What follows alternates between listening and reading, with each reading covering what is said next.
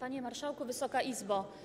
E, szanowni posłowie Prawa i Sprawiedliwości, od momentu rozmowy na temat mediów narodowych mówiliście o tym, że media powinny być odpolitycznione.